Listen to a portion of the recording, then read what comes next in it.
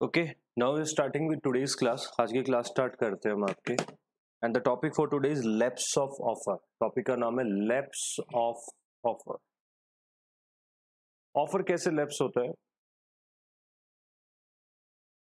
Question is offer lapse कैसे होता है?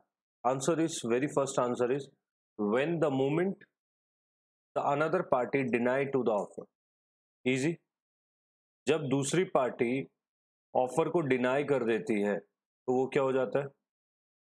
लैप्स हो जाता सपोज़ मुझे purchase the shirt I said no I don't खरीद लैप्स हो गया।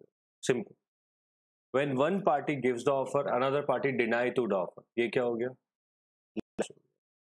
ये था आपका सबसे पहला पॉइंट जो लिखा हुआ है आपने। ऊपर वाले में कोई प्रॉब्लम तो है नहीं लास्ट क्लास वाले में? सेकेंडली सपोज़ आई सेड कि you have to accept the offer in a certain way आपको एक एक्स तरीके से ऑफ़र को एक्सेप्ट करना है। आपने उसको उस तरीके से एक्सेप्ट नहीं किया। Might be your accepting in your own way then also offer will be left offer सबको पता ही है क्या होता है? How the offer will be left question है कि ऑफ़र खत्म कैसे हो जाता है? लॉ के अंदर ऑफ़र खत्म कैसे होता है? तो सबसे पहला आंसर है suppose I give you offer and you certainly deny to the fact कि मुझे ये ऑफ़र चाहिए ही नहीं। आपने क्लियरली मना कर दिया, मना करने पर ये क्या हो जाएगा? ऑफ़र लैप्स हो जाएगा। क्लियर ओके नेक्स्ट आता है when it is not accepted in the way it was prescribe suppose I said you कि if you want to accept the offer you have to reply me by the phone call immediately within next ten minutes but you are sending me a postal letter आप Indian डाक से मुझे letter भेज रहे हो तो obviously वो पहुँच रहे दस दिन बाद, सात दिन बाद बट आपने एक्सेप्टेंस तो उसी दिन सेम डे दस मिनट बाद दे दी थी बट मेरे पास वो पहुँच रही है सात या दस दिन बाद. In that case offer? Lapse नहीं माना जाएगा the offeree reject is by distinct refusal if to accept it the offeree rejected by distinct refusal to accept वो अपनी कोई कंडीशन लगा देता है। कि अगर ऐसा करोगे तो तो मैं लूँगा। आपने, मैंने बोला कि would you like to purchase at three hundred rupees you said no दो सौ में देते हो तो बताओ। तो आपने इसका मतलब तीन सौ का ऑफ़र रिजेक्ट कर दिया। आई सेड यू कि आपको एक स्पेसिफाइड टाइम में एक्सेप्ट करना है टेन डेज़ के अंदर अंदर आपने इलेवेंथ डे एक्सेप्ट किया। मैंने मोड प्रिस्क्राइब नहीं किया बट डे प्रिस्क्राइब कर दिया था। आपने उस डे को एक्सेप्ट नहीं किया नेक्स्ट डे एक्सेप्ट कर रहे हो तो वैलिड नहीं है। इधर द ऑफ़र और ऑफ़र डाई बिफोर एक्सेप्टेंस मैंने आपको ऑफ़र दिया would you like to purchase is at three hundred rupees आप मुझे दो दिन के अंदर बता देना नेक्स्ट डे मेरी डेथ हो जाती है। In that case offers reason, आप एक्सेप्टेंस मुझे कम्युनिकेट नहीं कर easy next the acceptor fails to fulfil the condition precedent और असेडेंट मतलब कोई कंडीशन लगी हुई थी कि अगर आपको ये ऑफ़र लेना है तो पहले ये सर्टेन फॉर्म भरना पड़ेगा। जैसे अगर आपको एडमिशन लेना है। If you want to take admission in ICSI ICAI और any of the professional coaching institute तो वहाँ पर एक ड्यू डेट होती है कि इससे पहले पहले एडमिशन लेना है then you can appear in certain day of exam आपने वो कंडीशन पूरी नहीं करी। इन दैट केस वो ऑफ़र आपके लिए, उस उस पर्टिकुलर एग्ज़ाम का ऑफ़र आपके लिए नहीं। देर आर सर्टेन कंडीशन तो offeree makes a counter offer वो मैं पहले बता चुका हूँ काउंटर ऑफ़र का मतलब क्या होता है? व्हाट इज़ काउंटर अटैक आप पे कोई अटैक करे तो आप वापस अटैक करो। काउंटर अटैक है, वैसे काउंटर ऑफ़र क्या होता है? आपने मुझे ऑफ़र किया, मैं आपको वापस ऑफ़र करता हूँ। तो मेरा जो ऑफ़र है, वापसी आपको दो सौ रुपए वाला, वो क्या है? Counter offer. It amounts to rejection of the offer and the offerer offer by the offeree may be accepted or rejected by the offerer. और नया ऑफ़र क्रिएट हो जाता है उस केस में कोई सवाल नेक्स्ट रिवोकेशन ऑफ़ ऑफ़र थोड़ा सा मुश्किल है ये रिवोकेशन ऑफ़ ऑफ़र टॉपिक है कि ऑफ़र कब तक रिवोक कर सकते हैं हम ऑफ़र को कब तक रिवोक कर सकते हैं? What is the maximum time limit by which you can revoke the offer can anyone explain क्या हो सकता है इस केस में? कब तक ऑफ़र को रिवोक किया जा सकता है?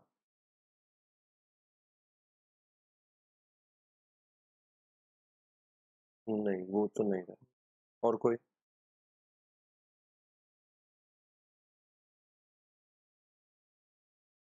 एनी अदर आंसर आप ऑफ़र को कब तक रिवोक कर सकते हो?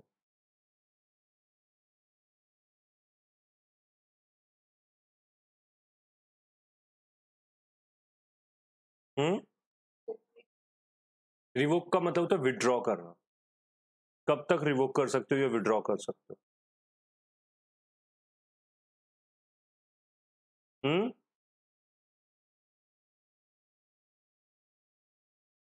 Okay any other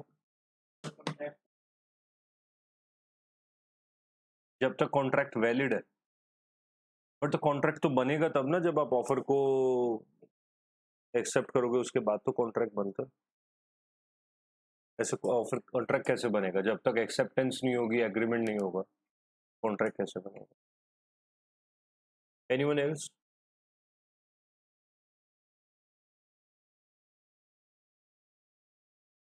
would be one answer की एक्सेप्टेंस होने से पहले पहले कर लो। और कोई तरीका?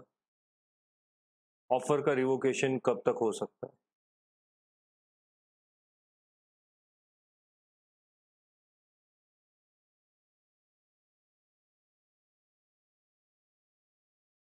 हाँ तो रिवोक कब तक हो सकता है? Any time any time acceptance होने मोड वगैरह, ठीक है सर चलिए, मैं एक चीज़ समझाता हूँ आपको, कब तक कैसे कैसे हो सकता है। डेट वाइज समझना पड़ेगा, क्योंकि इंपॉर्टेंट है एग्ज़ाम में आता है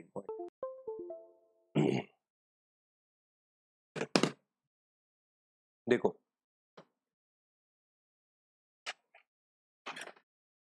आपकी बुक में लिखा हुआ है that an offer may be revoked by the offeror at any time before acceptance ये सबने जवाब दे दी ऑफ़र कब तक रिवोक हो सकता है? एक्सेप्टेंस से पहले। Like any offer revocation must be communicated to offering offer को रिवोक करने का मतलब कि आप उसको कम्युनिकेट करना विड्रॉ करने को बताना पड़ेगा कि है हम रिवोक कर रहे हैं इसे। As it does not take way until it actually communicated to the offer जैसे ऑफ़र कब वैलिड होता है? व्हेन इट इज़ कम्युनिकेटेड वैसे रिवोकेशन कब वैलिड होती है? Before its actual commission the offeree may accept the offer and create a binding contract revocation से पहले अगर ऑफ़र पहुँच गया और उसने एक्सेप्ट कर लिया, अब रिवोकेशन नहीं हो सकती। The revocation must reach to offeree before you send out the acceptance मैंने ये नहीं कहा एक्सेप्टेंस पहुँचे। Send out acceptance so in short an offer to keep an open for specific time is not binding unless support छोड़ो आगे देखो इधर। Suppose आपको अगर एक ऑफ़र को देना है तो अगर एक ऑफ़र देना आपको किसी को, क्या है बताइए?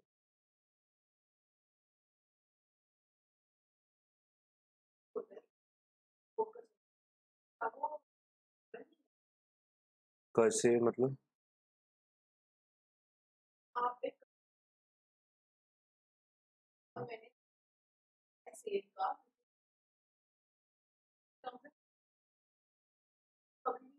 हाँ तो बस करो, आप कभी भी करो। आपने लिखा है ना already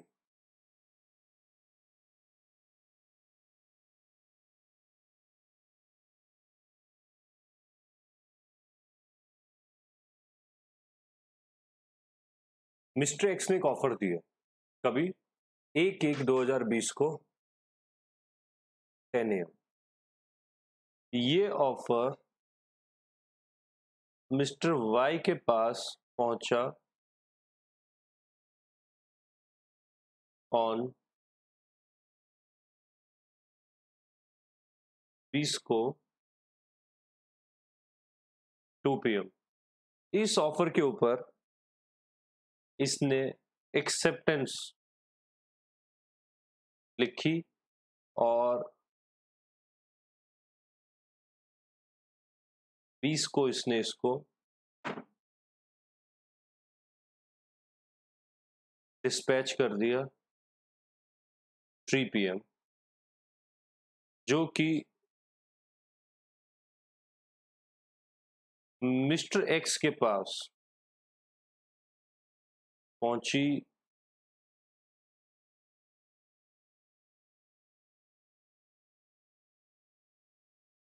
Four P now tell me कब तक ऑफ़र रिवोक हो सकता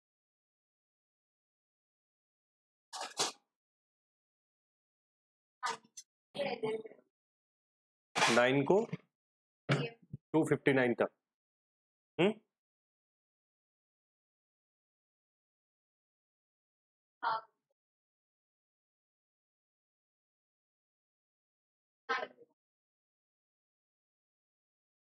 नाइन को? नाइन को तो थ्री है। टेन को फोर पीएम से पहले पहले आप कह रहे हो कि ऑफ़र रिवोक हो सकता है। और कौन कह रहा था? नाइन को टू फिफ्टी नाइन तक नाइन को टू फिफ्टी नाइन तक हाँ तो ये दो बच्चे सही है, बाकी सब गलत है। बहुत क्लियर भाषा में लिखा हुआ है लास्ट में। मैं इमोशनली मत सोचो। बहुत क्लियर लैंग्वेज में आपको लिखा हुआ है। बुक में देखो, आप लिखा है 250 पे। क्या लिखा है?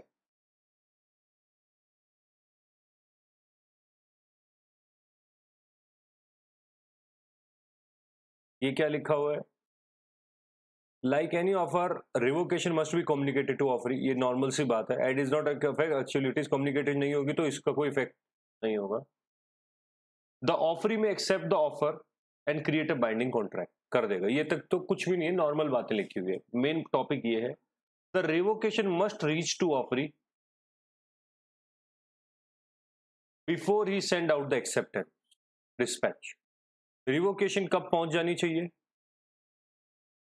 अगर ऑफ़र रिवोक करना है तो उसकी एक्सेप्टेंस भेजने से पहले पहले उसके पास रिवोकेशन का लेटर पहुँच जाना चाहिए। बहुत ही सिंपल भाषा में, आपके पास कब पहुँच जाना चाहिए? जब आप अपनी एक्सेप्टेंस को डिस्पैच करने वाले हो, उससे पहले पहले, उससे पहले पहले रिवोकेशन आपके पास पहुँच जानी चाहिए। रिवोकेशन मतलब विड्रॉ कि ऑफ़र अब नहीं है। हम ऑफ़र को वापस देते बस इतनी सी बात है। पूछो कोई सवाल है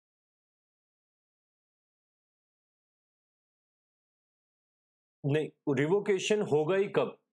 रिवो आप जो कह रहे हो ना रिवोकेशन वो यूजलेस है। रिवोकेशन लॉ की लैंग्वेज में रिवोकेशन का मतलब होता है विड्रॉ करना। और लॉ की लैंग्वेज में revocation is equals to when it is properly communicated to the of revocation word ही तब बना जब वो कम्युनिकेट हो। उससे पहले वो कुछ भी नहीं है, जैसे एक स्टेटमेंट है। अब बोलो।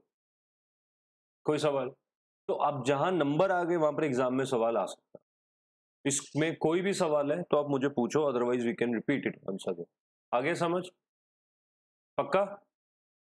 देखो, आगे कहते हैं एक्सेप्टेंस अब आगे सारा वंस रीड वाली चीज़ है, क्योंकि जो ऑफ़र था उसी का उल्टा है।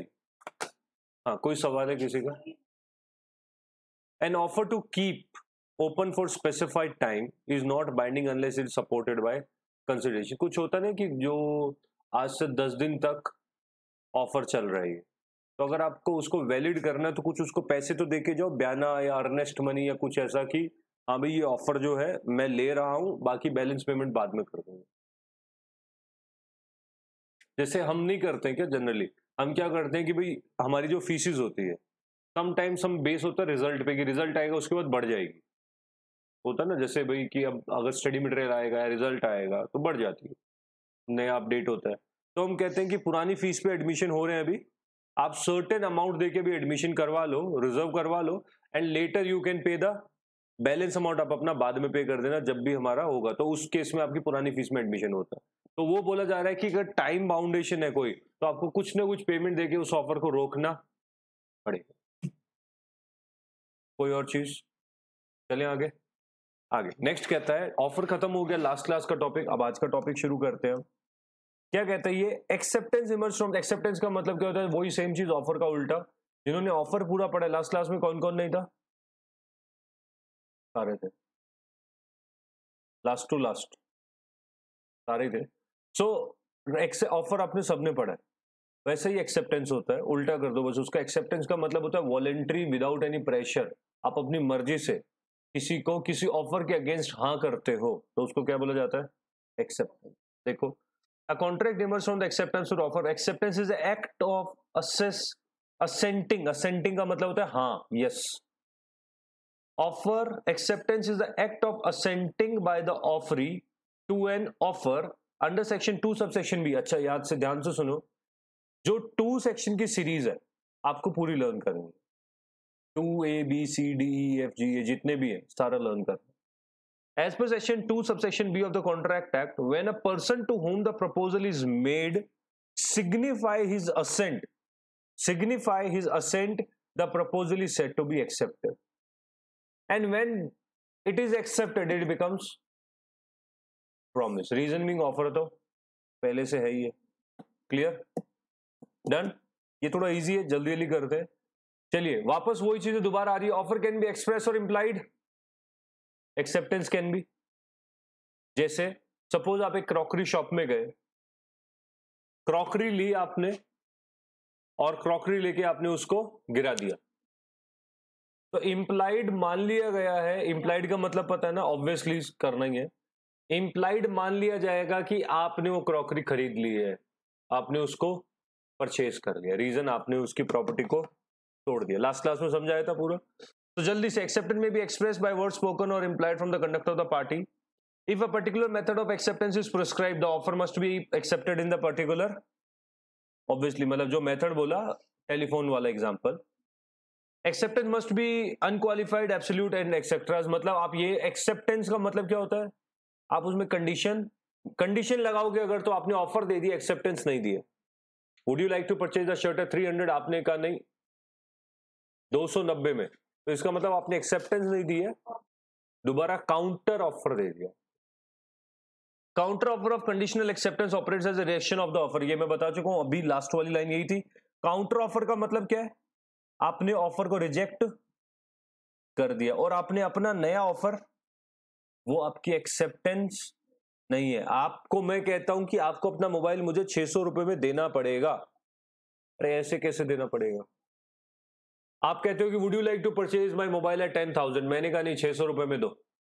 अरे एक्सेप्टेंस कर रहे हो ऑफ़र दे रहे हो, क्या accept how can you accept at six hundred rupees आप कौन होते हो मेरी चीज़ के लिए छह सौ रुपए के रेट लगाने वाले? आप ऑफ़र भी आप दे रहे हो एक्सेप्टेंस भी आप दे रहे हो, छह सौ में दे। मतलब ऑफ़र 600 का और एक्सेप्टेंस दे, नहीं। आप क्या कह सकते हो कि क्या तुम्हें 600 में देना है? तो ये एक्सेप्टेंस नहीं है 600 में, ये क्या है मेरी तरफ़ से? ऑफ़र है। आप अगर चाहो तो इसे रिजेक्ट भी कर सकते हो। प्रॉमिस नहीं बन गया वो। ठीक है? So where a horse is offered for one thousand and offer counter it nine ninety तो एक हज़ार वाला ऑफ़र क्या हो जाता है? लेप्स होगा कि नहीं होगा?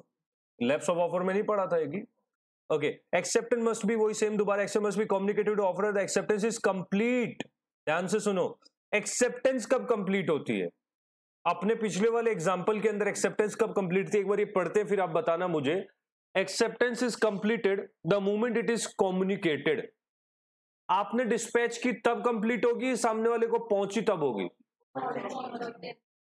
टेंथ को four PM where the offeree merely intent to accept but does not communicate मैं दिमाग में सोच के बैठा हूँ कि हाँ मुझे तो एक्सेप्टेड है बट मैंने आपको अभी तक बोला नहीं। तो वो कम्युनिकेशन नहीं होगा ना। मैंने दिमाग में सोचा है खाली, आपको फिर भी कम्युनिकेट नहीं किया तो नहीं होगा ना। जस्ट मैंने सोच के रखा हुआ है there is no contract mayor mental acceptance is not enough just दिमाग में सोच के रखना इनफ नहीं है। Can you tell me in this example acceptance finish या कंप्लीट कब होती है? इज़ दैट सो क्योंकि जब कंप्लीट आया लास्ट समझ। एक्सेप्टेंस कब कंप्लीट होती है जब आप उसको प्रॉपरली क्लियर आगे बढ़े। Okay okay. आपने मुझे, मैंने आपको बोला कि क्या इस तरीके से बनते ना? क्या आप मुझे अपना मोबाइल चार सौ रुपए में देना पसंद करोगे? आपने कहा बोलते रहो। अरे, ऐसे तो बहुत सारे लोग बोलते दो सौ बोल देगा। आपने जवाब नहीं दिया।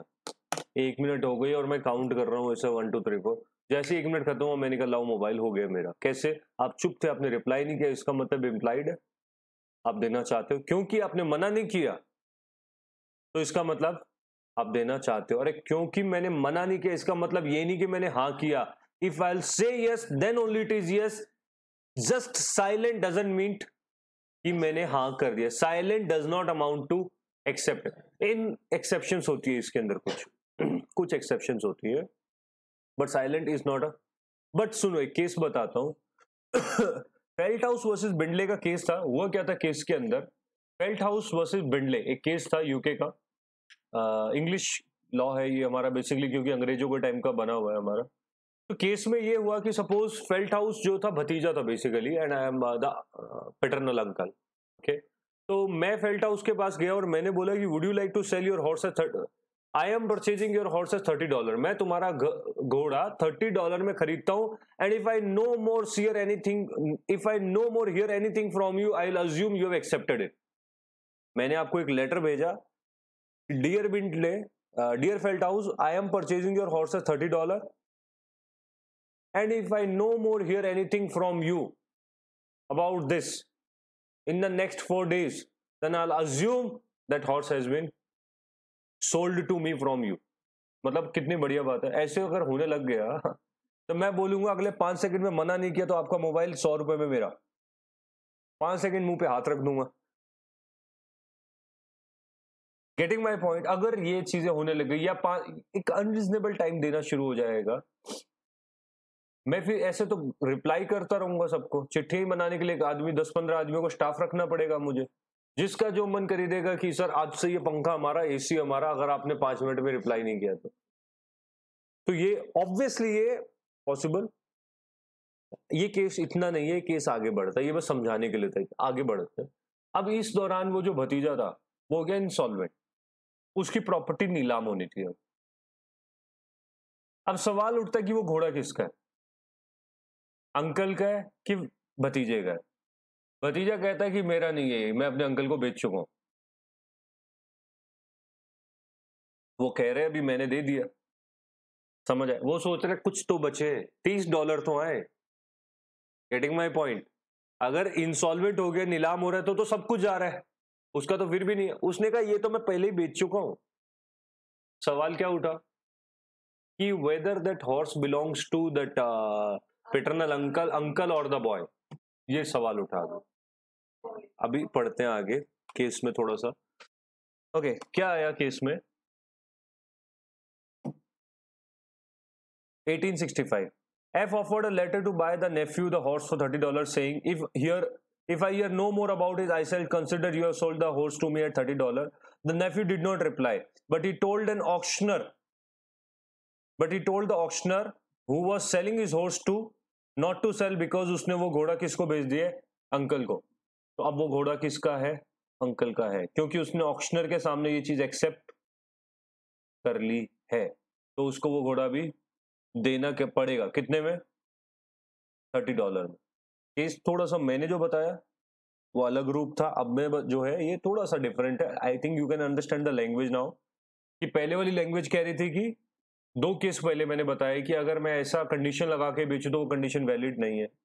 दूसरी चीज़ अगर अंकल को कोई कम्युनिकेशन नहीं, और ऑप्शनर अगर घोड़ा बेचने आ गया, और मैं ऑप्शनर को बोलता हूँ कि ये घोड़ा मेरा नहीं है तो ऑब्वियसली वो घोड़ा मेरा नहीं है इन दैट केस क्योंकि मैं उसको बोलता हूँ कि मैं उसको ऑलरेडी बेच चुका हूँ, और ये रहा ऑफ़र लेटर मेरे पास एक्सेप्टेंस है मेरी, ठीक है? तो आगे आया। It was sold to the uncle the auctioneer inadvertently sold the horse अब ऑप्शनर है वो घोड़ा बेच दिया। सवाल उठता है कि क्या अंकल, जो फेल्ट हाउस है, अंकल है, क्या वो घोड़े पे क्लेम ले सकता है या नहीं ले सकता? दोनों सवाल आ गए आपके सामने, क्या ले सकता है कि नहीं ले सकता? केस इज़ मेरा घोड़ा मेरे को मेरे अंकल ने बोला, अगर तुमने रिप्लाई नहीं किया तो मैं समझूँगा तीस डॉलर में मेरा हो गया। ऑप्शन हो रही है, नीलामी हो रही है सामान की, उसमें घोड़ा बिक रहा है। बेचते टाइम मैंने बोला कि ये घोड़ा मेरे अंकल को मैं बेच चुका हूँ। ऑक्शनर ने फिर भी वो घोड़ा बेच दिया। उसने कहा हम कंसिडर मानेंगे नहीं इसको एक्सेप्टेंस क्या आप बींग पिंडले दैट इज़ जो बिंग फेल्ट हाउस अंकल क्या आप उस घोड़े पे क्लेम ले सकते हो? सवाल ये आराम से सोच के बताओ। Can you claim on that horse कहाँ किया? कहाँ किया? हम्म? पैसे नहीं पैसा तो खैर क्राइटेरिया नहीं है। more from हाँ। चलो ठीक है आपका मोबाइल मेरा है अगर दो सेकंड में रिप्लाई नहीं किया तो और पचास रुपए में। रिप्लाई अगर ये होता तो।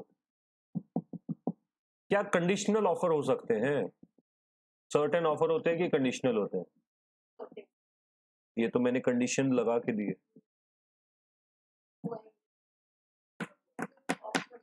चलो, आगे बढ़ते हैं, कहते हैं F had no claim against the auctioneer because horse had not been sold to him is offer of thirty dollar not having been accepted क्योंकि वो पहली बात तो प्रॉपर ऑफ़र था नहीं। अगर आप उसको ऑफ़र भी कहते हो तो प्रॉपर एक्सेप्टेंस नहीं। क्लियर कोई सवाल? आगे। The offer is one which is accepted by being acted upon no communication of acceptance offer is necessary unless communication is stipulated for the offer itself. एक केस किया था हमने लास्ट क्लास के अंदर। कौन सा? Carl Mrs Carlill versus Carbolic Smoke Ball Company Limited उसमें एक ऑफ़र आया। ऑफ़र को एक्सेप्टेंस देने की ज़रूरत नहीं थी उसमें। कुछ करना था। कुछ चैलेंज एक्सेप्ट करना था। कुछ फेस पे कॉस्मेटिक यूज़ करना था। उसमें एक्सेप्टेंस क्या थी उस टाइप के ऑफ़र में? एक्सेप्टेंस देने की थी या करने की थी हो सकता है ना? मैं आपको एक ऑफ़र देता हूँ कि if you find my lost son तो एक्सेप्टेंस क्या है इसमें? करने का। है करने का है ना? अगर कोई भी मेरा आ, खोया हुआ सामान ढूंढ देगा तो मैं उसको पाँच हज़ार रुपए दूँगा। एक्सेप्टेंस जाके बोलने की है कि करने की है? करने की है। तो there are certain type of offers if the offer is one which is to be accepted by being acted upon उसमें कुछ करने से एक्सेप्टेंस होती है।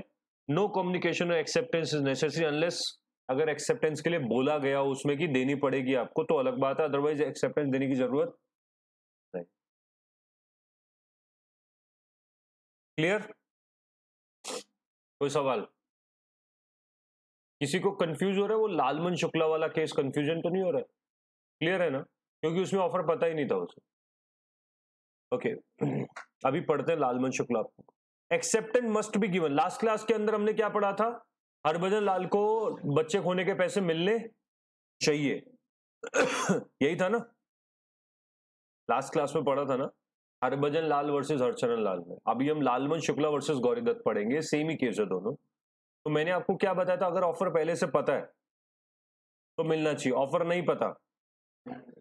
तो acceptance must be given within the reasonable time and before the offer lapse or is revoked मतलब offer से पहले क्या आनी चाहिए? एक्सेप्टेंस या ऑफ़र के बाद?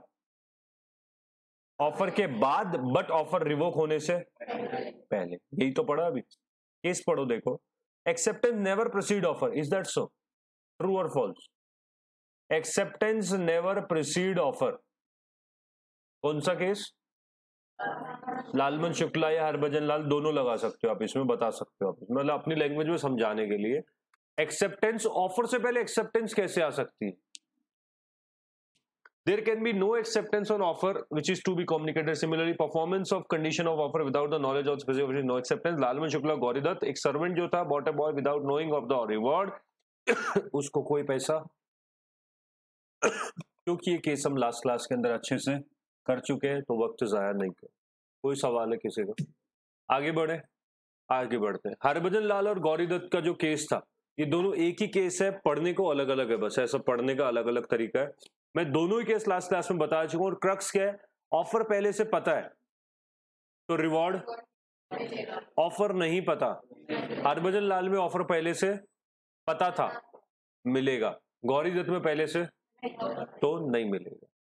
स्टैंडिंग ऑफ़र क्या होता है? लेट्स अंडरस्टैंड इसके ऊपर एक ही वर्ड है, इसका continuous offer in simple term जिसको बोला जाता है कंटिन्यूस ऑफ़र जैसे सेल 50 परसेंट लगा होता है तो उसमें ना, उसमें ये नहीं बोला जाता है कि आपको इस दिन तक आना या एक्सेट्रा एक्सेट्रा अगर बोल दिया गया स्टैंडिंग ऑफ़र मतलब कोई भी आओ, कितने बजे भी आओ, जब तक शॉप ओपन है, तब तक तो वो क्या है आपका? स्टैंडिंग ऑफ़र कंटिन्यूस ऑफ़र है वो। ये नहीं कह सकते कि माल खत्म हो गया एक्सेट्रा हो गया, फलाना निमकाना नहीं। स्टैंडिंग ऑफ़र है, क्योंकि आपने वर्ड स्टैंडिंग लगा दिया। कोई भी कभी भी आके एक्सेप्ट कर सकता है उसे, जब तक उस ऑफ़र को रिवोक ना कर लिया जाए। कई लोग ऐसा कहते हैं ना कि offer is valid only for ten pieces तो वो स्टैंडिंग ऑफ़र अगर आप कहते हो स्टैंडिंग तो कंडीशनल स्टैंडिंग है, क्योंकि वो स्टैंडिंग कब तक है खाली? टेन तक वेरा स्टैंडिंग uh, का सिंपल वर्ड क्या है? Continuous offer where a person offer to another person supply of specific goods up to a stated quantity और quality which may be required at a certain rate during the fix period he makes a standing offer तो मैंने आपको बोल दिया कि continuously आप मुझे supply करो दो महीने तक। ये क्या है मेरी तरफ़ से आपको? स्टैंडिंग ऑफ़र या मैंने बोला दस हज़ार टन तक आपको मैं दस रुपए में दूँगा। ये क्या है? Continuous up to Ten thousand ton Thus, a tender to supply goods as and when required amounts to standing offer. Okay, एक example है where P tendered to third para where P tendered to supply L up to a certain amount and over a certain period up to certain amount over a certain period 10 lakh रुपए तक का 10 महीनों तक L's order did not come up to the amount expected and P sued for the breach of the contract held each order was made a separate contract and P was bound to fulfill the order made, but there was no obligation on L to make the order to all. Okay, इसमें indirectly बोला जा रहा है कि अगर offeror ने दे दिया कि, जो मैं पहले बता चुका हूँ कि अगर अगर मैंने आपको ऑफ़र दिया कि दस लाख रुपए तक, दस महीने तक दो आपने नहीं दिया वो तो मैं आपको ऊपर केस कर सकता हूँ। और अगर दस महीने के बाद दो आप मुझे तो मैं एक्सेप्ट करने के लिए बाउंड पहले हमने एक बार बात कर ली है जब ऑफ़र हाँ। स्टैंडिंग में कंटिन्यूस में कंडीशनल हुआ ना ये, कि कंटिन्यू कितने टाइम तक? दस महीने। ऑफ़र कंडीशन नहीं है इसमें। ऑफ़र के ऊपर कोई कंडीशन नहीं है। समय सीमा लगाई है टाइम लिमिट लगा दी कि दस महीने तक रहेगा। जैसे सेल नहीं होती हमारी, पंद्रह अगस्त तक फिफ्टी परसेंट ये क्या है? पंद्रह अगस्त तक कंटिन्यू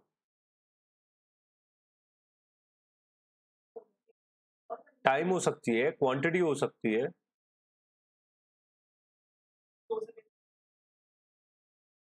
जब वो ऑफ़र नहीं था वो ऑफ़र ही नहीं है। मतलब वो तो सीधा एक्सेप्टेंस दे रहा हूँ ना मैं। उसमें मैं एक्स ऑफ़र मेरा ची, मेरी चीज़ ही नहीं है मैं कैसे ऑफ़र दे सकता हूँ? मोबाइल आपका ऑफ़र मैं दे रहा हूँ। वो तो केस ही गलत था ना। इसमें है कि मेरा सामान है ऑफ़र मैं दे रहा हूँ। तो चले ठीक है? आया समझ? आगे बढ़ते हैं। एक थोड़ा सा रेलवे टिकट का पढ़ना है। Little bit about railway ticket. दो ऐसा एग्ज़ाम में क्वेश्चन कम ही आते हैं इसके।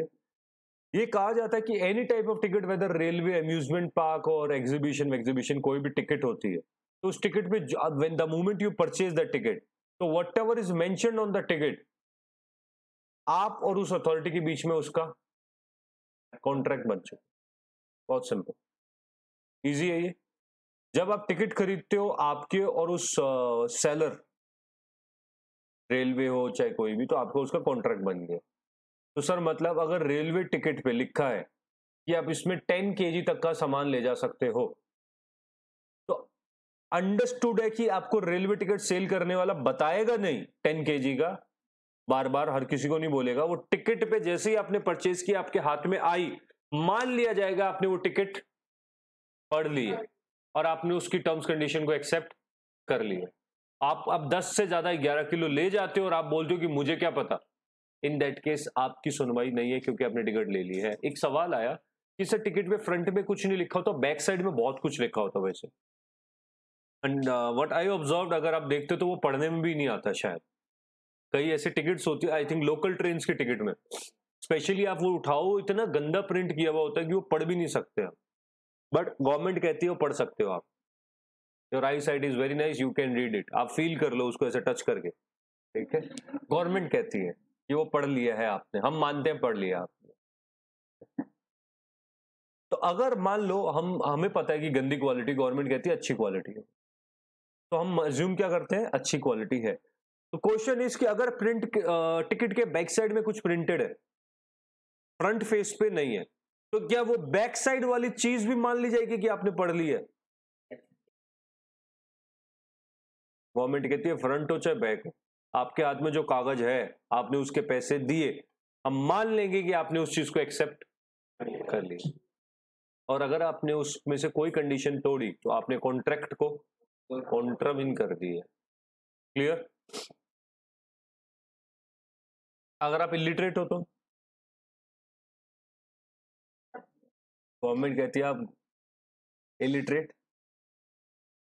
एटलीस्ट रेलवे टिकट्स को आप पढ़ सकते हो, नहीं पढ़ सकते तो किसी से पूछो आप। इंक्वायरी लगी हुई होती है, जहाँ पर कोई बैठा नहीं होता है। आप उस इंक्वायरी विंडो पे जाओ और कुछ घंटों इंतज़ार करो, फिर वो आदमी इतना इरिटेटेड है, उससे बोलो कि टिकट पढ़ के बता क्या लिखा है। ठीक है? Anyways on the lighter side मान लिया जाता है कि आपने पढ़ ली है इलिटरेट हो और अगर नहीं पढ़ा तो आपके लिए फैसिलिटी अवेलेबल है रेलवे इंक्वायरीज आप वहाँ जाके बात कर सकते हो तो मान लेंगे आपने पढ़ लिया।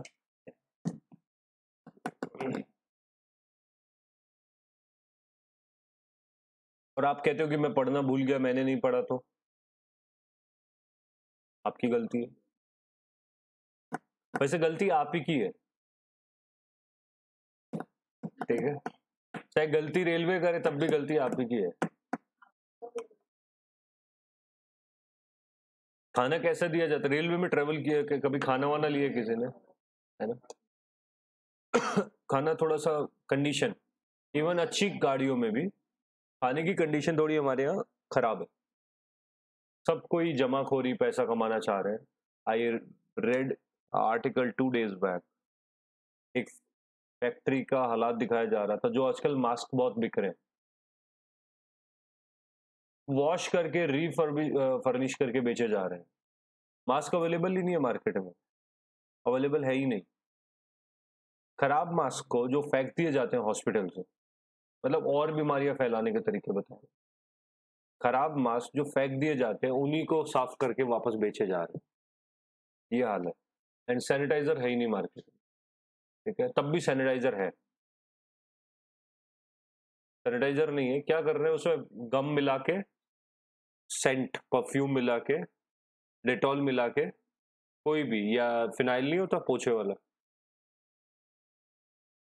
दिस इज़ हालात, ये हालात हमारे ह्यूमन काइंड के। एक तरफ़ तो यू आर सेइंग लड़ाई करेंगे हम, जो भी ये कोरोना है। एंड सेकेंडली हम इससे लड़ने की बजाय और फैला भी रहे हैं अनएजुकेटेड बिहेवियर जो दिखाया जा रहा है, वो एक हालात। नेक्स्ट कॉन्ट्रैक्ट बाय पोस्ट पे आते हैं। दोबारा से थोड़ा सा एक ट्रिकी है ये, हल्का सा ट्रिक लगानी है इसमें। तो डेट्स के ऊपर ध्यान रखिएगा ज़रूर। कॉन्ट्रैक्ट बाय पोस्ट देखो।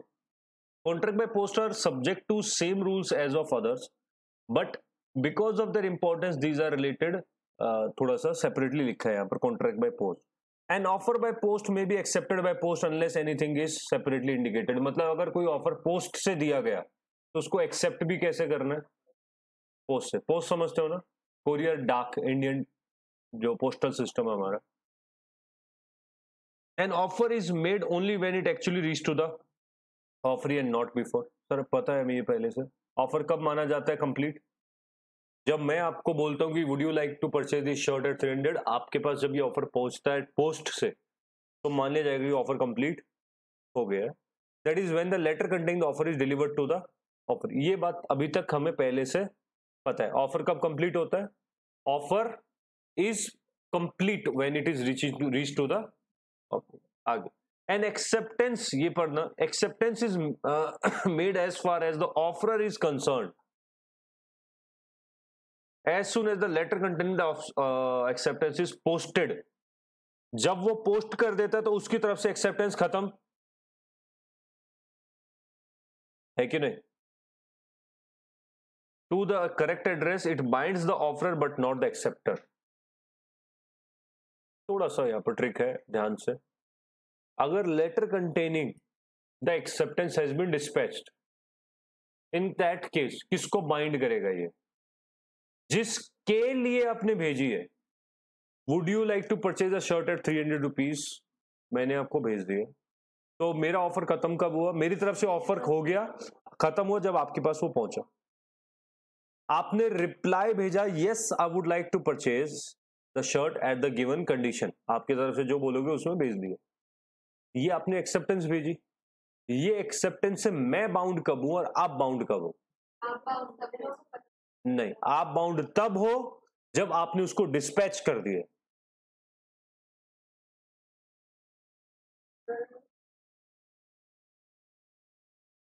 अभी इसमें बीच में एक चीज़ और बतानी है मुझे। ध्यान से। पहले तो ये बताओ ऑफ़र ऑफरी पता है कौन होता है? ऑफ़र देने वाला कौन होता है? और ऑफ़र जिसके को दिया गया वो? Okay, देखो acceptance is made as far as the offer is concern the letter containing the acceptance is posted. जैसे पोस्ट की गई एक्सेप्टेंस मेरे लिए तो एक्सेप्टेंस मान ली जाएगी। ऑफरर के लिए भाई। क्या लिखा है? थर्ड पॉइंट में। सर ये पहले वाले से थोड़ा अलग है। ऊपर इसके लिए क्लियरली लिखा है पहली लाइन में। But because of their importance these are stated below separately अलग जानबूझ के लिखा गया है उसको, क्योंकि कुछ अलग है इसमें। थर्ड पॉइंट अलग है, पहला ठीक है। As soon as the letter containing the acceptance is posted at the offeror's address it binds the offer but not the acceptor आप बाउंड नहीं हो, मैं बाउंड हूँ। जैसे आपने डिस्पैच किया। भेजने वाला एक्सेप्टेंस बाउंड नहीं है बट जिसको मिलनी है वो तो बाउंड हो गया। अब you might be saying sir communicate नहीं हुआ। होगा। गवर्नमेंट कहती है, हमारी पोस्टल अथॉरिटी इतनी बड़ी है कि अगर आपने भेज दिया तो वो होगा ही। फुल स्टॉप अब सवाल आता है कि सर, इसको बाउंड क्यों नहीं कर रहे हो आप एक्सेप्टर को? तो करिए रिवोक कर सकता है। ये कब तक रिवोक कर सकता है? अब वो पुराने वाला ले आओ वापस। हाँ। नीचे देखो। The acceptance binds the acceptor only when the letter containing the acceptance reach to the offeror जब वो एक्सेप्टेंस मेरे पास पहुँच गई तो वो इनको बाउंड करेगी। इसके नोट बना लेना, ढंग से थोड़ा सा ट्रिकी है ये। The result is that the acceptor can revoke the acceptance before it reach to the offer कब तक रिवोक हो सकती है जब तक वो मेरे पास एक्सेप्टेंस ना पहुँचे। द ऑफ़र में भी revoke before it be posted full stop last line में पूरा क्रक्स लिखा हुआ है डी पॉइंट में।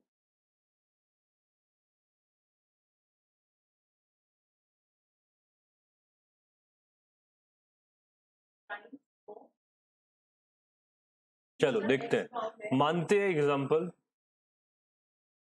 पोस्टल से है ये आपने ऑफ़र दिया मिस्टर एक्स ने ऑफ़र दिया। आप दोबारा बना लेना, मेरा पहले चल जाएगा। मिस्टर एक्स ने 10 बजे ऑफ़र दिया। और वो ऑफरर से ऑफरी के पास पहुँचा। सात तारीख को 2020 को पहुँच गया मिस्टर वाई के पास। ऑफरर कब बाउंड होगा? सात तारीख को दो बजे। एग्री ये तो पुरानी बात। वो रिवोक कब तक कर सकता है? हाँ। हाँ हाँ हाँ। टू फिफ्टी नाइन नाइन्थ को एक्सेप्टेंस भेजने से पहले पहले मैं उसको रिवोक कर सकता हूँ। चाहे आप अपने नोट्स बना बनाते रहना। आई कैन रिवोक एक्स कब तक रिवोक कर सकता है?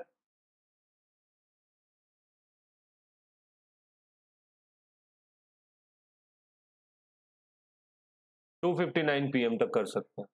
जब तक letter containing the acceptance is dispatch ना हो, तब तक मैं उसको रिवोक पहले भी यही था? आगे आते हैं। हाँ जी। पहुंचेगा। इंडियन पोस्टल अथॉरिटीज कहती है, आप हमारे ऊपर उंगली ना उठाएँ।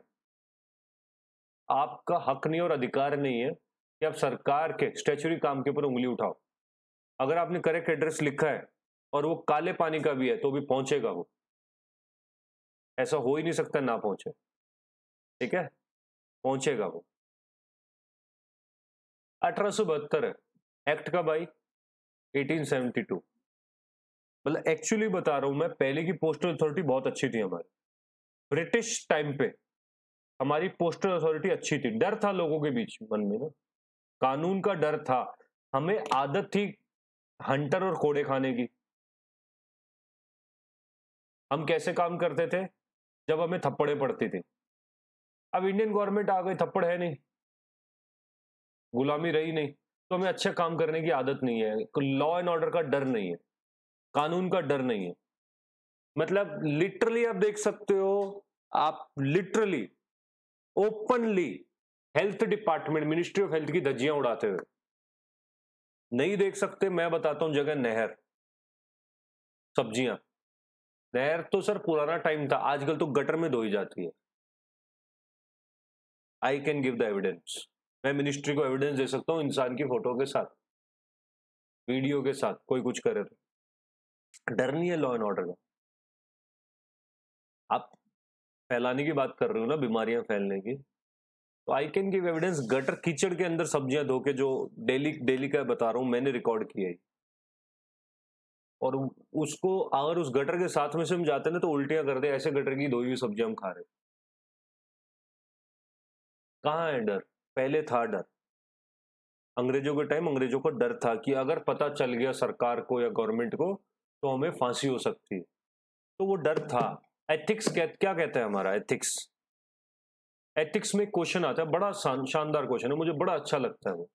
एक क्वेश्चन आता है एक स्टेटमेंट एथिक्स की law starts where ethics end कानून की ज़रूरत कहाँ पड़ती है? जहाँ पर आपकी नैतिकता खत्म हो जाए, इंसानियत खत्म हो जाए, वहाँ कानून की ज़रूरत है, ठीक है? आपकी इंसानियत खत्म ही है है ही नहीं। जो मैंने अभी कितने, दो एग्ज़ाम्पल बताए। तो कहा है नैतिकता? मोरालिटी है ही नहीं। क्यों नहीं है? नैतिकता क्यों नहीं है?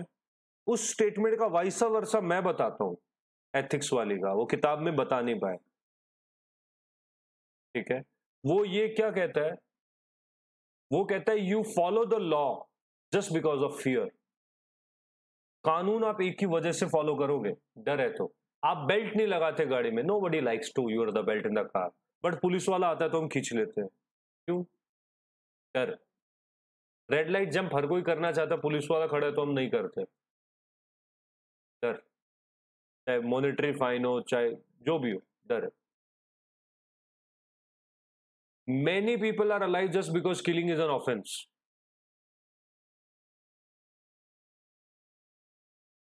है नहीं। क्यों क्यों है ये चीज़? जस्ट बिकॉज़ हमारे मन में कानून का डर नहीं है। रेपिस्ट आर ओपन क्यों वो डर नहीं है? अगर बैक टू बैक एनकाउंटर होते जो एक केस हुआ था आपका, हैदराबाद केस, है ना? प्रियंका रेड्डी। यार बैठा था ना? दिल्ली में 20 मार्च की डेट वापस दी है। मज़ाक है क्या? मतलब कंप्लीटली मज़ाक हो रहा है वो। मज़ाक सही हो रहा है ना कि आप उस मरने वाले के हालात सोचो, उसके क्या हाल है? डेली पहले रात को वो मर रहा है। अगले मॉर्निंग में आता, आज तू नहीं मर रहा। तो रोज ही मर रहे है वो। कानून का डर नहीं है ना, क्यों यंगस्टर्स टेररिस्ट बन रहे हैं? ओपनली एक कांस्टेबल को, पुलिस वाले को गोलियाँ मारी गई है। ओपन वीडियो में दिख रहा है, नेशनल टीवी पे हर एक न्यूज़पेपर में एक आदमी की फ़ोटो है। क्या कर लिया आपने? यंगस्टर्स, डोंट यू थिंक, उस तरफ़ झुकेंगे। कि पार है उस चीज़ में। पावर तो है ना? कि पावर है और डर नहीं है। क्यों? किसी भी पॉलिटिकल पार्टी के साथ जुड़ जाओ आप। और जिस मर्ज़ी को मार दो कोई दिक्कत नहीं है। ये हो गया ना हालात। आपने आपके घर में पेट्रोल बम्स मिले है ना? आप ओपनली घूम रहे कुछ नहीं वो तो इतना ज़्यादा वो कोर्ट के पार्किंग में चला गया। जो एक वो था ना? हम्म। तीस हज़ार कोर्ट की पार्किंग में बैठा था हियरिंग के दिन वहीं से पकड़ा उसको पुलिस ने। Look at the confidence level देखो। वो फरार था और पार्किंग में बैठा था आराम से अपना और सामने पुलिस आर्मी सब है वहाँ पे। और वो आराम से बैठे है उधर। वो हाँ? मतलब नॉर्मल कुछ डर ही नहीं है। कुछ डर नहीं है। कि आपके ऊपर क्रिमिनल ऑफेंस चल रहे हैं और आप फरार हो और आप खुला घूम रहे हो और कहाँ पर घूम रहे हो? कोर्ट की पार्किंग में उस दिन आपकी हेयरिंग है कि आप फरार हो। ये लॉ एंड ऑर्डर है हमारा। ये लॉ एंड ऑर्डर है हमारा। इससे भी बुरे हालात है। इससे भी बुरे हालात हैं अभी। अब बिहार, यूपी, इन जगह पे जाके देखिए। अब तो फिर भी यूपी में थोड़ा डर आया है।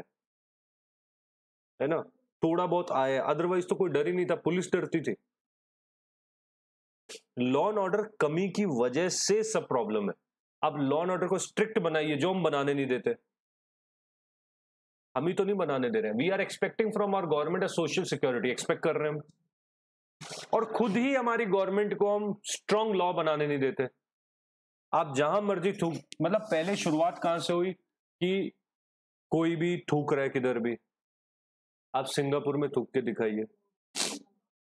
छोटा सा देश 1999 में आज़ाद हुआ। आपके बर्थ के बाद 1999 में। और आज वर्ल्ड की नंबर वन फाइनेंशियल इकोनॉमी है। मात्र 20 साल। ड्रीम सिटी ड्रीम कंट्री है लोगों की इतनी अच्छी इकोनॉमी है, इतनी अच्छी जीडीपी है वहाँ की, ठीक है? आई गेस चाइना की स्पेशल एडमिनिस्ट्रेटिव कंट्री है वो मकाऊ एंड सिंगापुर हांगकांग भी, ठीक है? कहाँ हो आप? मकाऊ 1999 में आज़ाद हुआ पुर्तगीज से। चाइना ने ले लिया लीज पे लिया basically so is Hong Kong look at the level of the development क्यों? कानून है सर आप फुटपाथ पे बैठ जाओ कितने हज़ारों रुपए का चलान कट जाएगा आपका? फुट बैठने का थूकने का नहीं बैठने का खाली बैठने का। हमारे यहाँ फुटपाथ में बैठना नहीं चाहती इतनी गंदी है। वहाँ क्लीन है। आप you are not allowed to spit यहाँ लिखा जाता है यहाँ भगवान की फ़ोटो है थूका तो पाप लगेगा तब भी हम भगवान को थोड़ा सा ऐसा करके थूक दो मतलब किस चीज़ से डरा रहे हो? भगवान से डरा रहे हो? ये ये डर है। आप इक्कीसवीं सेंचुरी में लोगों को इससे डरा रहे हो कि ऐसा हो जाएगा। मारो पकड़ के क्रिमिनल्स को। शूट एट साइड के ऑर्डर होने चाहिए। दिया था गवर्नमेंट ने। करा नहीं। क्यों? ह्यूमन राइट्स वाले आ जाएँगे। आर्मी को मारते हैं। आर्मी को मारते हैं हमारे। है ना? पत्थरों से मार रहे हैं। तो वो बच्चे हैं। और आर्मी ने वापस मार दिया तो? ह्यूमन राइट्स मानवता के अधिकार खत्म होते हैं वहाँ पर। ये चीज़ है ना?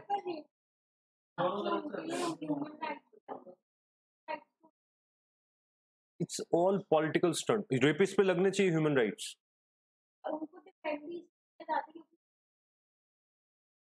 बट वो, उनको हमें बिल पास करना चाहिए ना कि वो ह्यूमन ही नहीं है।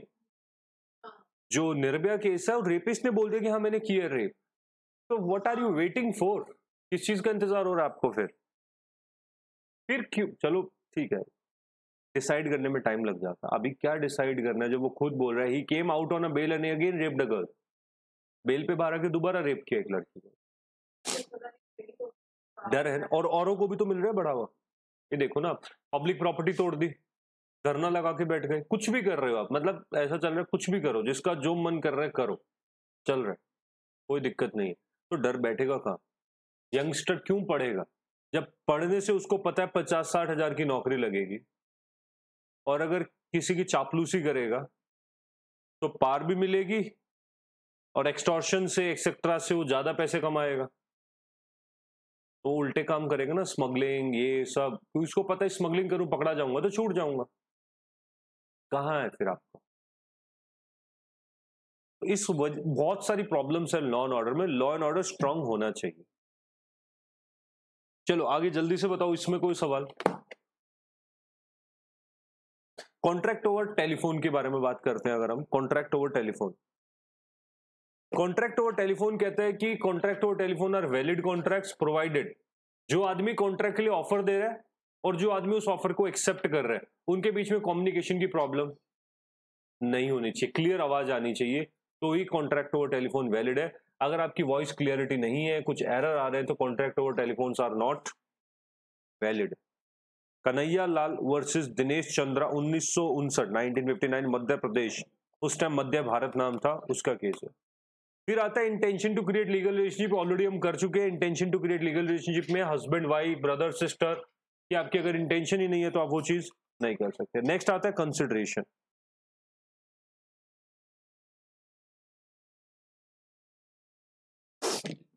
कंसिडरेशन ओके ध्यान से सुनिए, आज का last topic consideration is one of the essential thing in the contract consideration doesn't mean monetary term consideration mean something in return अगर मैंने आपको बोला, आपका और मेरा कॉन्ट्रैक्ट है लेक्चर लेने का और लेक्चर देने का या कोचिंग का, या ट्रेनिंग का.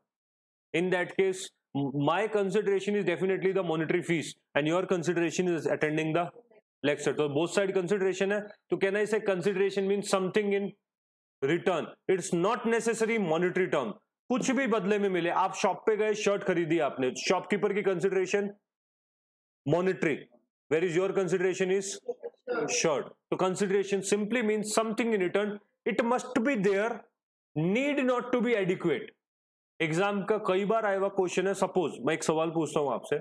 आपका एक पचास करोड़ का घर है और आप वो घर मुझे पच्चीस हज़ार रुपए में सेल करते हो। क्या ये कॉन्ट्रैक्ट सही है कि गलत है? सही है। कंसिडरेशन कॉन्ट्रैक्ट एक्ट का कोई प्रॉब्लम वो कहते हैं कंसिडरेशन होनी चाहिए। वो इनकम टैक्स डिपार्टमेंट पकड़े, वो अलग प्रॉब्लम वो आपकी प्रॉब्लम उनकी प्रॉब्लम है क्योंकि आपने फेयर वैल्यूएशन में गड़बड़ की है ना हाउस की। वो वो पकड़ेंगे। कॉन्ट्रैक्ट एक्ट के लिए वो क्या है? सही है। तो मैंने क्या consideration mean something in return it need not to be adequate मतलब बदले में कुछ मिलना चाहिए। ज़रूरी नहीं कि वो एडिक्वेट हो उस प्रॉपर्टी के according clear for example if A promise to make a gift of rupees five hundred to B gift है the subsequently change is mind B cannot sue against A मैंने आपको बोला, मैं 500 का गिफ्ट दूँगा, बाद में मैंने कहा, मैं नहीं दूँगा. Can you sue me because there was no consideration आपने कहा, मैं दुआएँ, भावनाएँ, आशीर्वाद सब दिया मैंने आपको. पर कंसिडरेशन कांट भी जो आपकी एक फिक्टिशियस चीज़ है वो कंसिडरेशन नहीं हो सकती। कंसिडरेशन समथिंग इन रिटर्न होना चाहिए। दुआएँ रिटर्न में लॉ में कोई दुआओं का काम नहीं। It is only when promised to make something in return for the promise in such case uh, promise can be enforced by the against. ठीक है? डेफिनेशन ऑफ़ कंसिडरेशन मैं बता दिया आपको जल्दी से पढ़ो इसे। Consideration identified as a quid pro quo exam के क्वेश्चन के लिए इसको लिख लेना इसकी फुल फॉर्म आती है। क्विड प्रो क्यू का मतलब होता है समथिंग इन रिटर्न सर्कल कर लो इंपॉर्टेंट है। This something need not to be in terms of money ज़रूरी नहीं कि पैसे की ही रिटर्न में कुछ मिले आपको, कुछ भी हो सकता है ये। As state in the case of Currie versus Misa something right interest profit benefit arise property for the बेरेंस detriment of etcetera तो मैंने क्या कहा? कुछ भी मिले बदले में बट मिलना चाहिए। आगे। Section two subsection D Indian contract act eighteen seventy two section learn करना है। डी टू डी किसके बारे में बात करता है? कंसिडरेशन के बारे में। वेन नहीं। क्योंकि हाँ मतलब आप समझ सकते हो कि लैंग्वेज वही है मैंने एग्जांपल दूसरा दे दिया। टू डी क्या कहता है? When at the desire of promisor the promisee और any person has done abstain from doing anything और abstain फ्रॉम डूइंग और abstain फ्रॉम डूइंग समथिंग ये आपको समझ नहीं आएगा। मैं बता देता हूँ ये क्या कह रहा है। पहली लाइन पढ़ो, सब समझ आएगा। When at the desire of promisor अच्छा पहले बताओ प्रोमिसर क्या होता है? और प्रोमिसी जिसके ऊपर थोपा जाता है या डाल दिया जाता है जो सेकंड पार्टी है राइट लिखा क्या है when at the desire of promisor मैं आपको ये शर्ट सेल करना चाहता हूँ। The promisee or any person has done यहीं तक पढ़ो, कुछ बदले में किया या कुछ बदले में करने से रोका। जैसे पेप्सी कोको कोला ने पेप्सी बोला कि दिल्ली में सेल मत करो, हम आपको 500 करोड़ देंगे। एब्सटेन फ्रॉम डूइंग हो गया। कॉन्ट्रैक्ट है वो 500 करोड़ और बदले में पेप्सी क्या कर रहा है वो नहीं बेच रहा abstain from doing is a consideration आगे पढ़ो The fundamental principle that consideration is essential in every contract laid down the definition, but there are some important uh, points in the difference of consideration. तो पहला point समझते हैं पहला कहता है consideration must be at the desire of promisor. Agree? Can I say you have to sell me your car at rupees twenty thousand?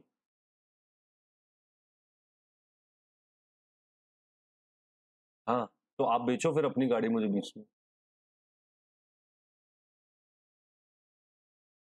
Sir, जिसका सामान है, उसकी मर्ज़ी चलेगी।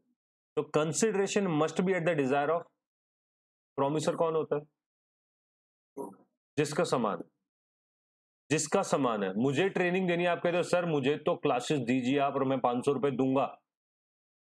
अरे, मेरी मर्ज़ी में नहीं देना चाहता। आप कैसे बोल सकते हो मुझे? प्रोमिसर मैं हूँ ना। आप कहते हो मई प्रोमिसर हूँ मई प्रोमिस हूँ नहीं। प्रोमिसर मैं हूँ।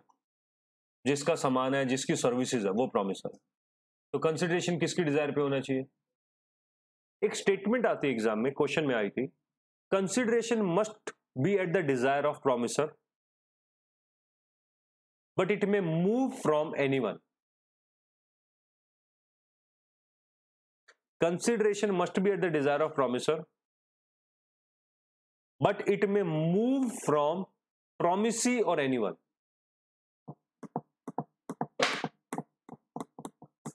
लिख लेना।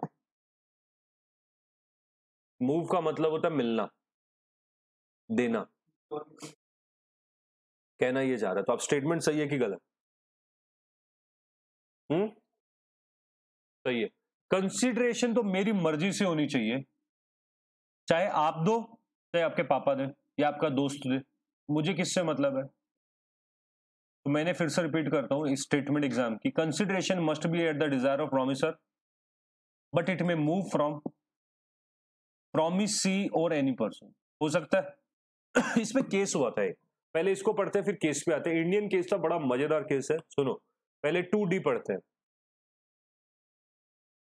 Consideration must move at the desire of request of promisor. This means that the whatever is being done must have been done at the desire of promisor and not voluntary or at the desire of third party. Can a consideration may be at the desire of third party? कभी नहीं होगा time waste नहीं करते जल्दी बताता हूँ मैं एक की लाइन है कंसिडरेशन हमेशा मेरी मर्ज़ी से होगी सर तीसरे आदमी के बोलने पे मैं क्यों मान लू सेल्स ऑफ़ गुड्स एक्ट में था जब आप आईपीसी पढ़ो तो अलग हो आप टॉट पढ़ो तो अलग हो CrPC CPC income tax GST contract सब अलग अलग बात है। सेल्स गुड्स एक्ट में हमने किया था कि प्राइस डिसाइड करने के तरीके थर्ड चार तरीके थे ना, वो अलग बात है। दैट्स स्पेसिफिक है तो क्या बोला? कंसिडर और उसमें भी अगर पार्टी एग्री कर रही थी तो थर्ड पार्टी था, यहाँ भी कर लो। अगर दोनों पार्टियाँ एग्री करेंगी प्राइस ये डिसाइड करेंगे। भाई आपने कहा सर आपने मेरे फ्रेंड से फ़ीस बाईस हज़ार लिया मुझे पच्चीस क्यों बोल रहे हो? मैंने कहा अगर आपके फ्रेंड से मैंने बाईस लिए तो वो जो कहेंगे मैं वो ले लूँगा। वो जो कहेंगे बाईस कहेंगे बाईस पच्चीस कहेंगे पच्चीस मैं ले लूँगा। तो इसका मतलब कौन डिसाइड करेगा? थर्ड पार्टी बट डिज़ायर तो मेरी है अभी भी। Rushes to B's help, whose uh, house is on fire, there is no consideration voluntary act. Voluntary है ना ये? घर जल रहा है ए का बी बचाने को गया वॉलेंट्री एक्ट है, क्या इसके बदले वो पैसे मांग सकता? है but if A goes to help B as its request और वो कहते हैं कि घर की आग बुझा दो, मैं दस हज़ार रुपए दूँगा। आग बुझने के बाद पैसे देने पड़ेंगे। Consideration may move from promise और एनी अदर पर्सन मैं पहले बता चुका हूँ, क्या मतलब है इसका? चाहे आप दो फ़ीस चाहे आपके पेरेंट्स या कोई फ्रेंड में कोई भी दे, मुझे मतलब मेरी इच्छा पे हो, देवे कोई भी, मुझे कोई फ़र्क। सही है ना? इस पैरा को बाद में पढ़ना, पहले मैं केस बताता हूँ आपको। जल्दी से सुनो there was a case of 1882 Madras का केस था। केस का नाम केस में कुछ कैरेक्टर्स है, उनका नाम है। एक कहानी के तौर पे समझो लाइफ टाइम के लिए याद रहेगा। चिनैया वर्सेस रमैया। केस क्या है? चिनैया रमैया। तो चिनैया वॉज़ अ ग्रैनी नानी थी बेसिकली दादी नानी एंड रमैया वॉज़ द बेटी की बेटी। तो अपने ग्रैनी एंड ग्रैंड डॉटर समझते हैं, ठीक है? सो द चिनैया ने रमैया को बोला कि जब तक मैं ज़िंदा हूँ एंड योर मेटरनल अंकल मामा, ज़िंदा है, तब तक तुम हमें ब्रेड एंड बटर प्रोवाइड करोगी, खाना प्रोवाइड करोगे। ब्रेड एंड बटर मतलब लॉ में खाना नॉट ब्रेड एंड टॉस्ट खाना, किसी भी तरीके से। जब तक हम ज़िंदा है, तुम हमें खाना दोगे। और इसके बदले में ये जो पूरी प्रॉपर्टी है, हमारा घर, मकान, ये सब तुम्हारा। क्लियर फैक्ट क्लियर हो गए? अब चिनैया की डेथ हो गई मतलब ग्रैनी की डेथ हो गई। And Ramaiah that is grand daughter stop giving the bread and butter to the maternal uncle full stop maternal uncle went to house of lord मने कोर्ट उस टाइम अपने यहाँ भी क्या था? अठारह सो एटीन एटी टू है ना मद्रास? तो ब्रिटिशर्स थे। तो she went to he went to house of lord court चला गया। उसने कहा कि, सर, हमारा कॉन्ट्रैक्ट हुआ था कि आप हमारे को ये, जब तक मैं ज़िंदा हूँ, ये मुझे खाना देगी तो इसके बदले में इसको प्रॉपर्टी दे रहे हैं हम। तो Chinnaya Ramayya said that sir agree contract हुआ था कि प्रॉपर्टी के बदले में खाना दिया जाएगा। मैं इसको नहीं देती बिकॉज़ इससे इस इन्होंने मेरे को कुछ नहीं दिया है। मुझे जिसने दिया था मैंने उसको खाना दिया जब तक वो ज़िंदा थी इसको भी दिया। But I have not received anything from him why should I give him the food मैं इसको खाना क्यों दूँ? कोर्ट सेट दैट क्या इसको खाना देने के बदले आपको कुछ मिल रहा है? या मिला था? Said yes uh, Ramaiah said yes. मुझे ये प्रॉपर्टी इसको खाना देने की वजह से, इसको प्लस ग्रैनी को खाना देने के लिए मिली। है कि नहीं? तो कोर्ट ने कहा बट रमैया सेड कि इन्होंने कुछ नहीं दिया। कोर्ट ने कहा कि आपकी मर्ज़ी से हुआ था? या आपने कंसिडरेशन एग्री किया था?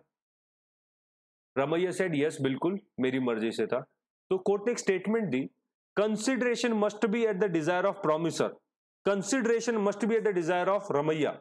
आपकी इच्छा से हुआ था।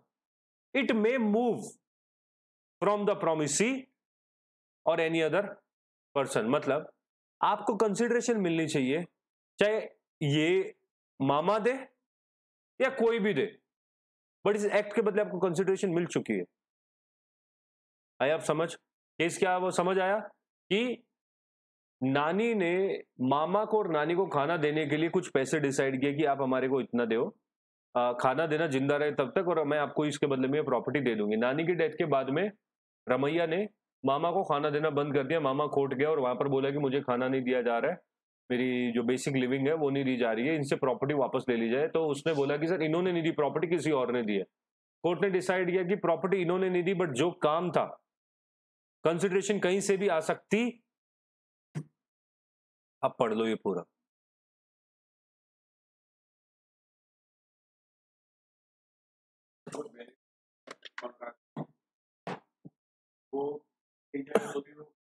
हाँ। मतलब कहना ये जा रहा है कि एक और सवाल एग्ज़ाम का बता देता हूँ, आपने वर्ड लिया है। Can a stranger to contract, दो क्वेश्चन एग्ज़ाम के। Can a stranger to contract sue? Sue का मतलब केस करना यस वाले रेज योर हैंड दो जने, और कोई? तीन, चार, थोड़ा जल्दी करो। I repeat the question can a stranger to contract sue चार जने।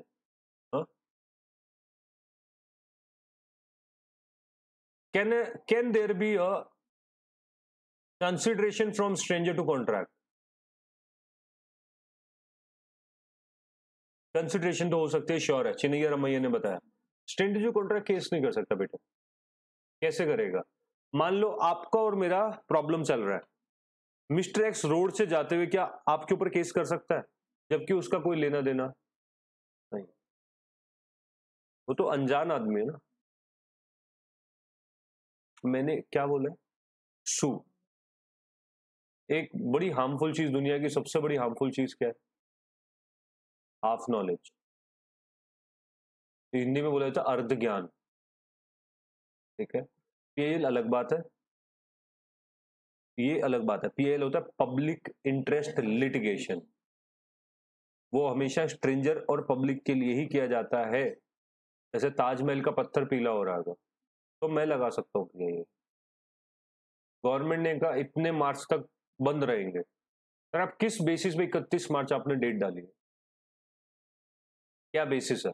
आपने दो अप्रैल क्यों नहीं डाली? क्या वैल्यूएशन आप by thirty first March. Randomly बोल दिया आपने, कानून बना दिया।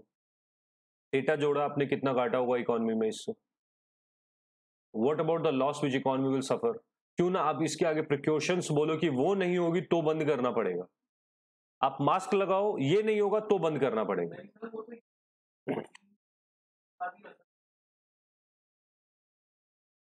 ट्वेंटी डेज़ का बंद करा इन्होंने फिर भी। बारह मार्च। की रात को नोटिफिकेशन ग्यारह मार्च की रात को या बारह मार्च की रात को आई है। बारह से लेके thirty first March twenty days अगर वो बोला जाए वैल्यूएशन उस बेसिस पे कैसे? बीस दिन क्यों फिर? एक दिन साल तो ले लो, दो ले लो। चौदह दिन होता है वैसे fourteen fifteen mini fourteen days ठीक है? और कैन यू बिलीव वो भी अभी श्योर नहीं है। कह रहे कोरोना की फ़ोटो आ गई। मतलब एक तो मैं इतना, मैं परेशान इतना हो गया हूँ, ये जो व्हाट्सएप पे कोरोना आ रहा है। आधे से ज़्यादा डर तो मेरे मन में उससे बैठ चुका है। केस नब्बे ही हमारे पास, डेथ दो ही हुई है। केस नाइन्टी ही है। कल की जो रिपोर्ट आई है हेल्थ मिनिस्ट्री के अनुसार, कल रात की आठ बजे की, उसमें नब्बे केस बताए अब बाकी आप एक लाख कर दो, कोई दिक्कत नहीं। और डेथ दो बताइए। डेथ दो बताइए तो उनको था ही नहीं तो रिकवर कैसे हो जाता है? मैं बताता हूँ प्रॉब्लम क्या है? कोई वैक्सीनेशन नहीं है कोरोना का। वो हुआ कि अब सपोज़ अब मुझे बार बार हो रहा है ठीक है? अब मैं ठीक हो गया तो रिकवर हो गया। हेल्थ मिनिस्ट्री को भी तो अपने अचीवमेंट दिखाने हैं ना। वर्ल्ड लेवल पे आपको भी तो अपनी इमेज चाइना ने तो कह दिया कि हमने कोरोना पे विजय प्राप्त कर लिया है। We have we have achieved victory on the corona कैसे? वैक्सीनेशन नहीं है। प्रॉब्लम ये इकोनॉमी घाटे में चली गई है। Nobody is going China पहले तो उन्होंने रूमर फैला दिया। अब उसका एडवर्स इफ़ेक्ट ये पड़ा कि उसका कोई सामान यूज़ नहीं कर रहा है। उनसे कोई ले नहीं रहा। है उनकी कंट्री में कोई नहीं जा रहा है। टूरिज़्म टूरिज़्म से उनको करोड़ों अरबों डॉलर का घाटा हो चुका है। फ्लाइट्स बंद है उनकी। उन आज की डेट में कोई चाइनीज़ दिख जाता है, मैं दूर खड़ा हो जाता हूँ। लिटरली मैं थोड़ा एक्चुअली मैं बता रहा हूँ, मैं थोड़ा दूर आ जाता हूँ कि ठीक है, आप अच्छे हो, बहुत बढ़िया है, पर आप कुछ भी खाते हो, थोड़े से दूर आ जाते हैं, पता नहीं वायरस पहले ज़िंदा ना हो, अब आ जाए। तो ये आपने अपनी इमेज बना ली है वर्ल्ड में। उस वजह से अब रूमर फैलाना पड़ रहा है कि कोरोना रातों रात ठीक हो गया कैसे हो गया? रातों रात कैसे हो सकता है? इटली तो नहीं कर पाया। अगर ठीक हो चुका है तो आप अपने मार्केट ओपन कर दो। वो एक सिटी है ना वुहान। हाँ, वुहान। तो, तो उसको ओपन करो ना बंद क्यों कर रखा है? अगर ठीक हो गया आपने विक्ट्री ओवर द कोरोना बड़े बड़े हेडलाइंस में अपने न्यूज़पेपर में डाला। Open that if that victory over the corona और वर्ल्ड को क्यों नहीं सेल करते हो अपनी वैक्सीनेशन आप तो सबसे बड़े ट्रेडर हो वर्ल्ड के। सर हर चीज़ डुप्लीकेसी से ठीक नहीं होती ना, प्रॉब्लम यही है। सब अच्छा है डुप्लीकेसी में दवाइयाँ डुप्लीकेट काम नहीं करती है दोस्त। दवाई मेडिसिन में क्वालिटी चाहिए। और आपको आदत पड़ी हुई है लोअर क्वालिटी और डुप्लीकेट चीज़ें बनाने की। That's one of the reason is ये भी एक आपका रीजन है ये नहीं हो पा रहा। चलो, इसमें कोई सवाल है तो पूछो, इसको पढ़ो। एक लास्ट पैरा पढ़ाना है मुझे। In English law consideration must move from the promise ये एग्ज़ाम के क्वेश्चन है। In English law consideration must move from the promise किसमें? इंग्लिश लॉ में. इंग्लिश लॉ क्या कहता है? कंसिडरेशन किससे आए खाली? प्रोमिस से. So that stranger to consideration cannot so but Indian law क्या कहता है? कहीं से भी आए, पैसा आए. तो नीचे बोला person seeking to enforce simple contract must one the contract himself given the consideration to the promise तो इंग्लिश लॉ में नहीं है बट इंडियन लॉ में कंसिडरेशन किधर से भी आए, चलता है। Clear privity of contract next class में करेंगे। वेरी वेरी इंपॉर्टेंट यहाँ तक कोई सवाल है किसी को तो आप पूछो मुझे।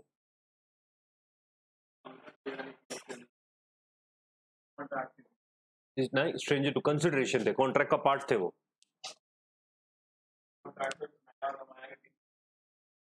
हाँ ऑन आपके फादर और मेरे बीच में कॉन्ट्रैक्ट हुआ कि आपको क्लासेस देनी बट मैं आपको क्लासेस देने मैं नहीं अलाउ करता।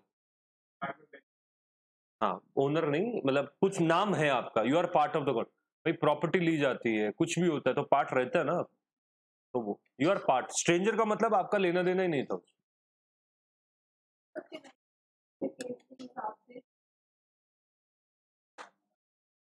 हम्म।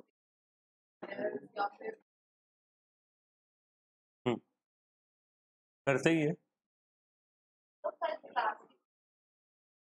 अभी इसमें कोई प्रॉब्लम है तो पूछो अभी तक वाले में।